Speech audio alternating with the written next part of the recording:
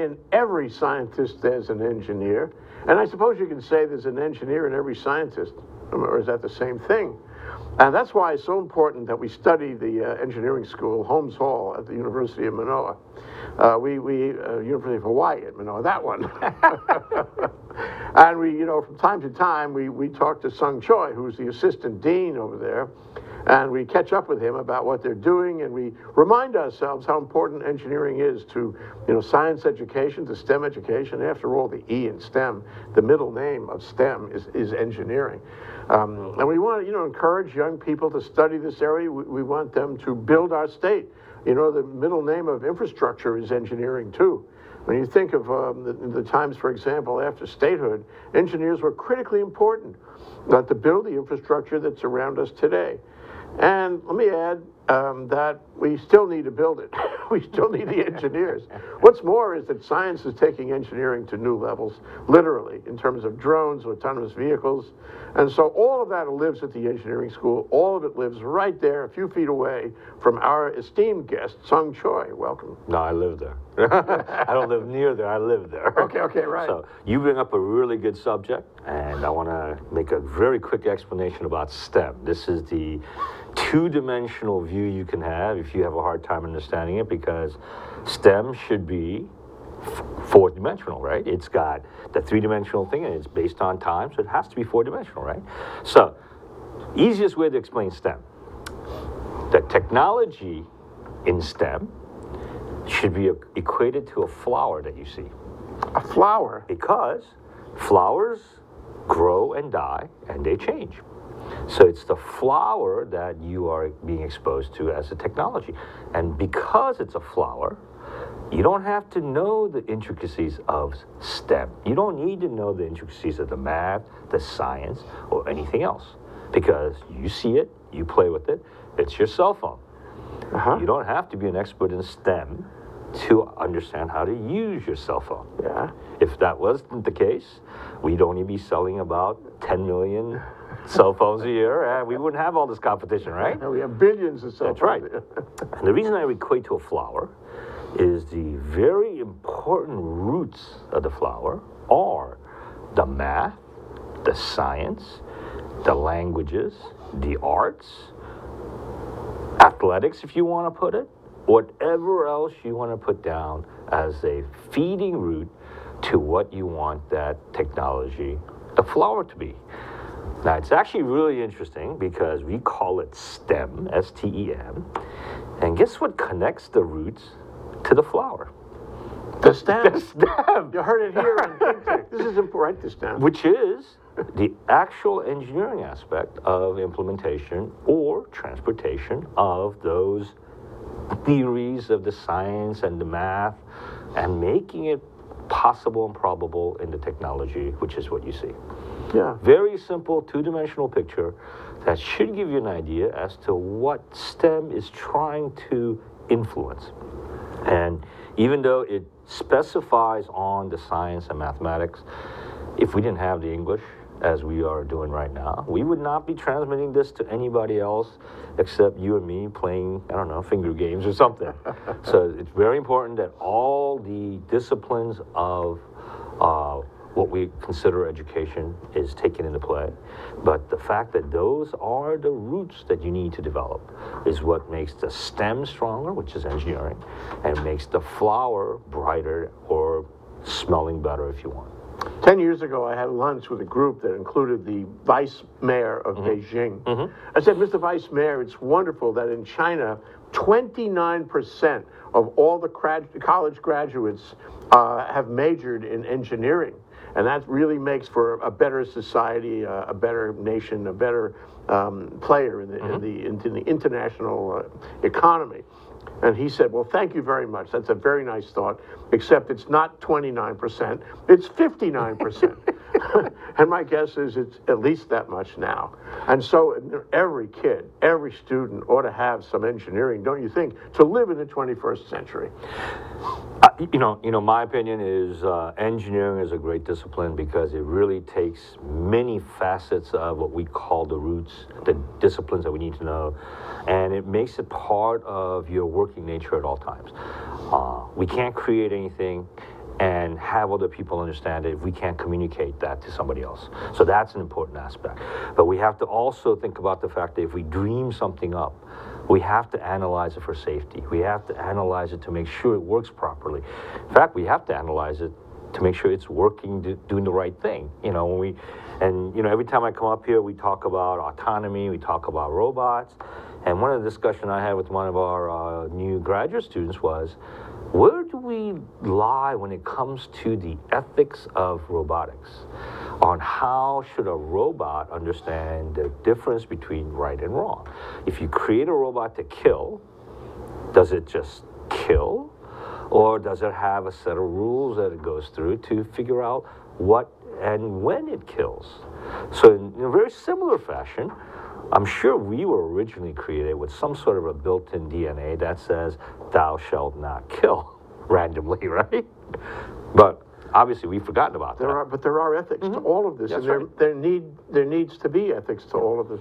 We had a, a guest a day or two ago who's working, I told you before mm-hmm. the show, who, who's working on the, um, self-driving mm-hmm. car, you know, which is, so many companies are working on it, and there's so much involved, and it will happen, it will happen, you know you're in this area. But what's interesting, what really struck me was that they, as well as doing the software, as well as doing the material science and the sensors and all that, they also think about social policy. They think about the impact of, of the self-driving car on everything around us because they know how disruptive it is and they want to understand the impact. Yeah? Well, I mean, think about it. Uh, self-driving cars. It's not really a uh, difficult concept. The only reason we think of it as being difficult is because we are trying to put the self-driving car into an unstructured area. If we had a completely structured area where everybody or everything followed rules the way it was supposed to be precisely and accurately, we would have no problem. If there were only self-driving cars on the road and you are automatically told, rule number one, if you see something coming in front of you, you turn right. Absolutely no accidents. The only problem is the people that drive it, us, that are the unpredictable, unstructured aspects out there. If you get into an accident, you know, if you get into a, uh, a riling situation, I don't know if I'm going to turn right or left. That depends on which side of the bed I got up on that day, right? So that's where the accidents come to play. Automated systems will not have that problem. So, you know, when you talk about are we that close to automating? I, I think we're already there. We Yeah. just have to figure out how do we take some of this unstructured aspects out of the equation. If we can do that, everything would probably be automated. Yeah, yeah. But I mean, there are very interesting issues around it, and, and they, we are already there. In uh, I think it was Pittsburgh, he said. In Pittsburgh, they have self-driving cars, but they always have a safety man. The safety man sits and doesn't do anything unless you get in trouble. Um, It's like your planes, right? well, that's true. The planes fly themselves. Yeah. And this is all, you know, when I see a picture of a safety car, and he showed me one yesterday, I see engineering issues all over the place. right. And, and of course, the software is very important, but in a sense, software and engineering are married now, aren't they? Oh yeah, oh yeah. I mean, uh, if you think about engineering in terms of the separation of electrical, mechanical, civil, even, and computer science or computer engineering, everything has to come into one play because it's not a distinct aspect where you're trying to create a larger mechanism that works separately. The reason I pull in civil engineering is you have to remember a lot of these structures are becoming very large. And I don't see if there's a difference between buildings or something like the satellite space station. They are a building that just happens to be flying around.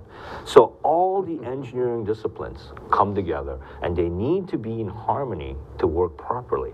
And that, that's the whole part of this, in, in- you know, incremental engineering development. We're, we're trying to get to that final product. Obviously, if we didn't have bottlenecks like power sources, maybe we'll get to that dilithium crystal thing, mm-hmm. we would have less of an engineering problem because a lot of our deficiencies that we see right now would be resolved right away. So where's the line, Song? You know, yesterday we had Vassilis Syrmos, the uh, Chief of Research and Innovation, VP, Research and Innovation at UH with the whole university. And he's talking about science. He's talking about research in science and innovation using, you know, the discoveries in that research. So, question, where's the line between engineering, if there is one, maybe there is none anymore, uh, between engineering and science? So, so I believe there is really no line. Um, Hawaii, traditionally, and the University of Hawaii, has traditionally been a science school. We study astronomy, we study oceanography, and they used engineering as a support mechanism to enhance their studies. I think that role may be kind of reversing because now we have uh, engineering, the robots, uh, automation, uh, the computers just gathering data doing so much more than The what sensors. they expect. The sensors, Yeah. what the scientists had expected. You know, a good example is a botanist usually sits there and watches a plant grow, and they go maybe every other day and measures and says, "Oh, this grew two millimeters. Oh, this grew four millimeters." This is over a week.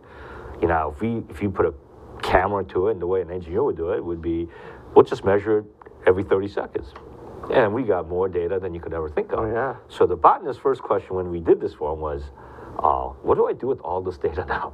Because it's way more than what we were expecting. Now, maybe that data gives him other theories to work on. In Why? botany. Yes, that's right. Why things happen. Now, at that point, because of the efficiency and the effectiveness that engineering has brought to this science, it's creating a change in how they look at that science. So they have to be married at some point. You, you, you're an assist to everything. That's You right. can't, you can't do these experiments. You can't gather this data. Mm-hmm. You can't, again, sensors. You need you need engineers to do that for you. You're the enabler. That's what you are. You're an Mm-hmm. Well, enabler. you may not only be the enabler, because when you get that technology and that engineering aspect to a point that is gone beyond, like for the botanists, that, that they're collecting more data than they know what to do with, it's changing how that science is being looked at. So it has to be a marriage between the two. including medicine, by the way. Of course, one, medicine one is of a our staff, yes. Mm-hmm. who is one of your students, went last year to I think UCLA for Mm-hmm. a summer intern program, and as an engineer. He was working at the medical, the medical school there, Mm-hmm. uh, doing medical projects using, I guess, biomedical engineering. That's right. And that's that's really an interesting connection because at a microscopic level, it's engineering, it's physics, it's engineering.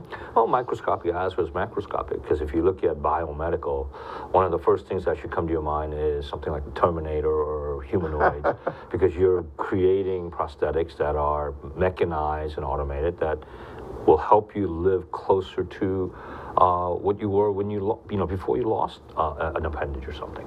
So we're, we're getting there. Well, I want to take a break Mm-hmm. for a moment, uh, Song Choi, and I want to come back and talk about the events that you are having and celebrating Sure. engineering coming soon this spring, and uh, and see where we are in terms of connecting all this with the um, you know other activities in the community and in other scientific areas. That's Song Choi, Assistant Dean of the of, the, of Holmes Hall, the School of Engineering, College of Engineering at UH Manoa. We'll be right back. I'm Ethan Allen, host of Likeable Science here on Think Tech Hawaii. Every Friday afternoon at 2 p.m., you'll have a chance to come and listen and learn from scientists around the world. Scientists who talk about their work in meaningful, easy to understand ways. And you'll come to appreciate science as a wonderful way of thinking, way of knowing about the world. You'll learn interesting facts, interesting ideas. You'll be stimulated to think more. Please come join us every Friday afternoon at 2 p.m. here on Think Tech Hawaii for a Likeable Science with me, your host, Ethan Allen. Aloha and Happy New Year. It's 2017. Please keep up with me on Power Up Hawaii, where Hawaii comes together to talk about a clean and just energy future. Please join me on Tuesdays at 1 o'clock. Mahalo.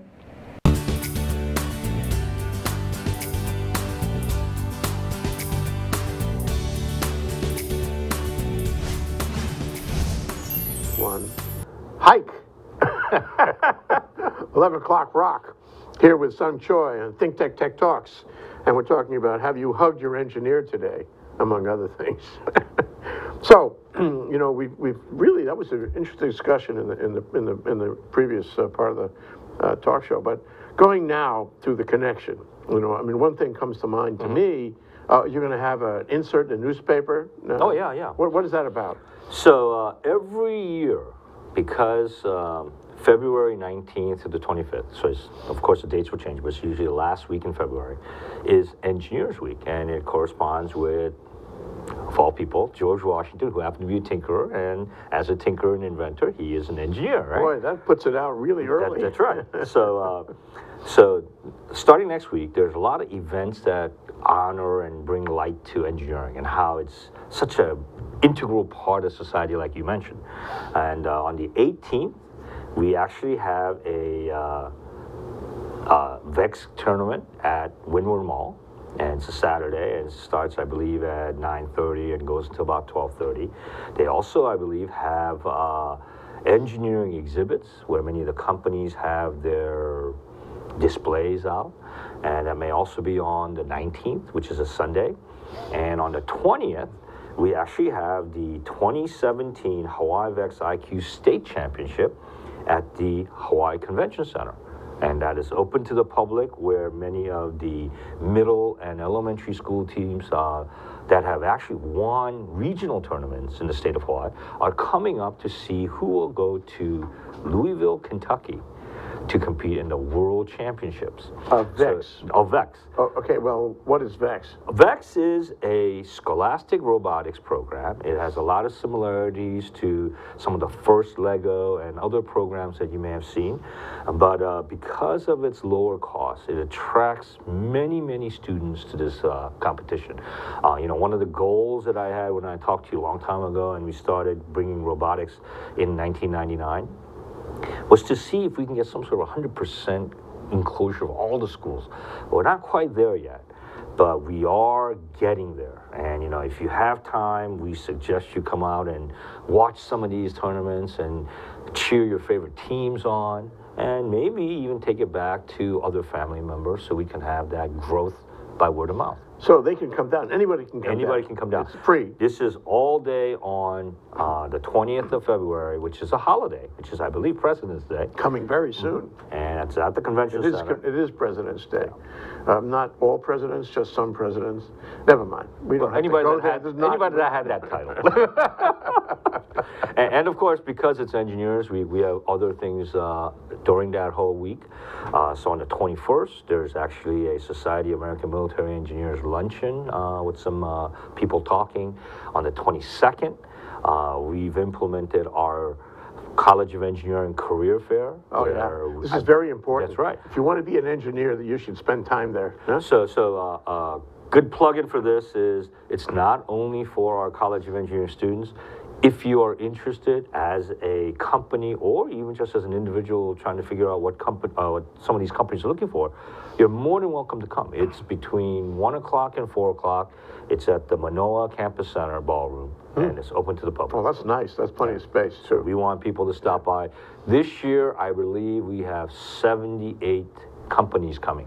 So surprisingly, uh, even though the university has its own career fair, our College of Engineering career fair usually ends up being larger than the majority of these. And the good news is that you'll be at each of these events, won't you, Song I'm going to try. I'll Okay, well, see, now, if you want to meet. Song Choi, just go to these events and he'll be there and he'll talk to you. So the last one I want to mention as part of our this thing is, uh, you know, there are other events going on. Many of our engineering societies are having uh, uh, outreach events that you know highlight engineering. But on the 25th of uh, February, which is Saturday, we actually have an Engineering Week banquet, and they will honor people like the uh, Lifetime Achievement Award, uh, Engineer of the Year, Young Engineer, and of course for us, we always honor a Student Engineer of the Year award. And if you haven't, you can go check some of the uh, internet web pages or I think it's uh, hceshawaii.us, and you can look at all this stuff. But uh, it, it- it's quite a thing when we have about 250 uh, engineers plus some of their family members show up. And let me get, put in a plug in. Um, uh, the person that developed Tetris, Henk Rogers, Yeah, yeah. will be talking about dreaming big in Oh, engineering. he's good for that. Yeah, because that is some of the things that we are trying to promote. How can I go? I mean, is there a, a site or someplace I can sign up? The HCES, the Hawaii Council of Engineering Society's website will have uh, a, a page that you can go in and uh, log in. Uh, the other thing is, you know, for yourself, all you gotta do is call me, right? I'll call you. and, and I believe there there is another event. I believe there is a, a showing of a film called Think Big at the Ward uh, Theater. Uh, That's big. And it's on engineering, and I believe it's the 23rd of February. So we're trying to highlight a lot of our engineering profession. Really getting out people. there. Yeah, yeah. So we're, we're trying to populate these days. So you'll figure out some way to get exposed to uh, engineering. Uh, you know, of course, you know my involvement with the uh, Department of Education. We're trying to uh, constantly have people understand engineering better. These robot tournaments and everything. It's not to get people to understand robotics in a year or six months. It's to, number one, expose students because we live in pretty much nowhere. We are the most isolated place on earth. So we're trying to expose new technologies, new uh, car- uh, careers, new disciplines to our young students. We also want to use things like this robotics to encourage students to uh, look further into these uh, disciplines. And then, of course, we want the teachers to educate them. And then with the education, we want the teachers to uh, empower the students to learn on their own. Yeah. And of course, we've always left one aspect out, which we have, which I decided to add, and that's the final one, which is expectation. And that's expectation on two sides. From a teaching side, I have very specific expectations about where I want my students to go. But at the same time, I think it's important to understand that the students need to have expectations as to where they're going to end up at the end of that rainbow. If there's no pot of gold at the end of the rainbow, why go on that rainbow? Sure. So we need to develop that industry here. You know, whether it's the Alumni Association uh, working with the College of Engineering to create more high-tech industry, or having somebody with a lot of capital, like the Omidyars or the Ellisons, come in here and create new. Then you have entrepreneurship, you That's build right. a company. That's right. You take the engineering ideas and you make them into what, manufacturing, uh, or otherwise you make money with them, maybe a lot of money. That's right. So what uh, Vassilis, also uh, uh, our colleague, uh, electrical engineer, was talking about with the innovation entrepreneurship, it is a way of bringing everything into a full circle. We're, we're trying to create industry and we're trying to create the people that are going to be working in that industry. And hopefully there is a nice merger that takes place where we won't be losing all our intelligence to other places like people feared. It's, it's a profession. If you build a profession, there's a certain magnetism Mm-hmm. about that. And people want to stay with their colleagues. They want to form companies. They want to practice engineering with their colleagues. Mm-hmm. Well, I mean, you know, what you and I have always talked about, we don't want Hawaii to be that old saying of the gateway to the east and the west. We want Hawaii to be the center of excellence in engineering, if you want Yeah, amen it, to that. for people to come here. Yeah. And we want them to come here and also enjoy what nature has to offer. You know, I mean, we have the best air, we have the best beaches, we have the best surf. But you know what? The most important thing to a professional and to an engineer um, is being with colleagues, sharing in- intellectual ideas, course. sharing things that they learned in school, taken taken further. You know, taken to into that center of excellence. Well, th- that brings up another point. So, April 20th, we have our College of Engineering banquet, annual banquet, which attracts about a thousand people. My God, you have enough things going on. Yeah, uh, we have many, many things. Uh, you know, we, you know, we were talking about engineering alumni uh, a couple days ago, and I realized College of Engineering is 109 years old this year, because we were established in 1908, one year after uh, UH Manoa, and I'm, I was trying to throw out numbers, and I was like, we must have graduated about 10,000 people. And assuming, you know, a certain percentage has passed away, certain percentage is not living here anymore, I, I still think there must be about 5,000 College of Engineering graduates. Still here, still still around, Yeah. still part of the profession. so we want to see like our banquet have more of this Yeah. colleagues and old friends come on. yeah, that's and great. see what's going on. It, it's because- Mm-hmm. more, much more than the sum of the parts.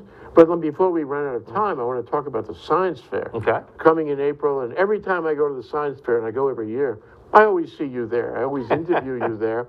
I always enjoy your energy there, and you are dedicated, you know, completely dedicated to science fair.